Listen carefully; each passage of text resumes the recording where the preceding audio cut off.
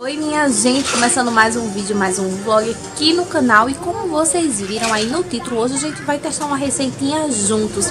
Como vocês leram aí, vou fazer hoje o chantininho estabilizado com pó pra glace real. Eu nunca fiz, então eu vou gravar minha experiência com vocês. Como vocês sabem, ele é bastante usado assim em regiões quentes, como é aqui no caso da minha Ou em dias que tá muito quente e tudo mais, sabe gente? Então vou testar hoje com vocês, vou falar o que foi que eu achei E também tô muito animada, minha gente, porque eu comprei aquele bico um M, que é bem falado, né? Assim, eu era doida pra ter um, porque ele é muito falado. Então a gente fica querendo testar também, né? Então, eu já vou aproveitar pra treinar, né? Porque eu fiz um bolinho. Então, vou treinar aqui, minha gente, e vou gravar tudinho pra vocês, tá certo? Eu espero que vocês gostem do vídeo. Então, vamos lá começar. Então, gente, na batedeira eu comecei colocando aí o chantilly muito geladinho, gente. Ele tinha ficado de um dia pro outro. Ainda deixei no congelador, tá certo, minha gente? Por mais ou menos uma hora, mais ou menos, eu deixei. Então, eu coloquei aí 800 ml de chantilly, tá certo? E vou colocar 5 colheres de sopa de leite em pó. Eu uso leite em pó camponesa, tá certo, minha gente? Eu não uso o ninho mesmo, não. Eu uso camponesa, mas eu gosto. E é, o pó, né? O pó eu tô usando desse daí, como vocês estão vendo. E, gente, eu, e, gente, vou colocar três colheres, tá certo? De sopa peneiradinha, tudinho direitinho. Então, gente, aí nessa hora aí que eu tava misturando, eu tive até um susto. Porque assim que eu comecei a misturar com a colher mesmo, ele ficou muito duro, muito grosso, assim, sabe? Eu digo, gente, esse negócio não vai dar certo, não. Mas eu misturei, misturei.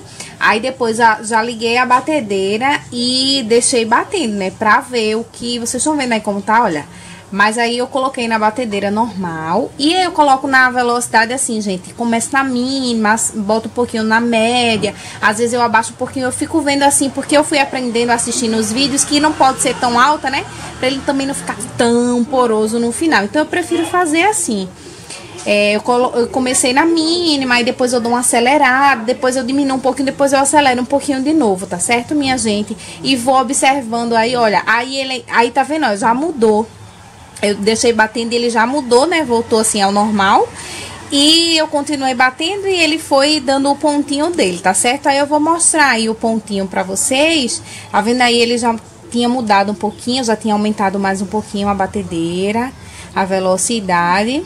E aí, olha, gente, chega na parte que eu desliguei para mostrar para vocês aí, olha, quando ele tá fazendo já essa marca mesmo, tipo desgrudando assim, né? Uma, é, desgrudando, fica ao redor colado na batedeira e no meio fica meio oco assim. E ele ficou bem firme, eu senti que ele ficou bem mais firme do que o chantininho normal que eu já tinha feito. E aí eu fui dar o ponto com um pouquinho de leite condensado bem geladinho. Não coloquei nem muito, viu, gente? Porque depois eu ia tingir, né? Eu tava pensando nisso também. A gente pode hidratar com o corante, mas eu também não ia botar muito. Então eu deixei ele num pontozinho bem bom, porém ainda bem firmezinho. Vocês vão ver aí que eu fui colocando aos pouquinhos, dando pontinho, vendo, né? Se tava bom, se não tava ao meu gosto, tudinho direitinho. E eu gostei muito assim da maciez dele. Ficou bem aveludado. Eu gostei muito, tá, tá certo, minha gente? Só que eu ainda tinha em mente que eu ainda ia colocar um pouquinho de corante. Que vocês vão ver aí mais pra frente que eu coloquei. Aí, pronto, eu deixei assim, olha. Coloquei o leite condensado e deixei assim. Reparem aí como ele ficou lindo. Mas ele não deixou de estar tá firme, não. Ele não cai da colher, não. Mesmo que eu levante assim a colher, ele não cai. Tá vendo, minha gente? Olha. Pronto. Aí agora, meus amores, é que eu fui, olha, colocando corante, corante em gel. Coloquei um pouquinho de azul e um pouquinho de rosa. Dividi em duas partes e coloquei bem pouquinho, porque eu queria umas coresinhas bem suaves, do jeitinho que eu gosto. Aí pronto, eu misturei, misturei, misturei. Depois vocês vão ver aí que eu coloquei ainda um pouquinho de leite condensado a mais. Porque eu senti que eu queria ele um pouquinho mais, mais macio, mais aveludado. Tá entendendo, minha gente? É, aí eu coloquei, vocês vão ver, acho que é agora, tá vendo? Eu coloquei bem pouquinho, mexi e já gostei, pronto. Aí depois que eu misturei bem misturadinho, aí um pouquinho de leite condensado nele já tingidos, eu peguei, fui pro saco de confeitar e coloquei um pouquinho de, em cada lado, tá entendendo? Pra ficar mesclado. Eu queria uma coisa não muito certinha, mas que ficasse umas mesclas assim, eu gostei bastante do resultado, como vocês vão ver aí.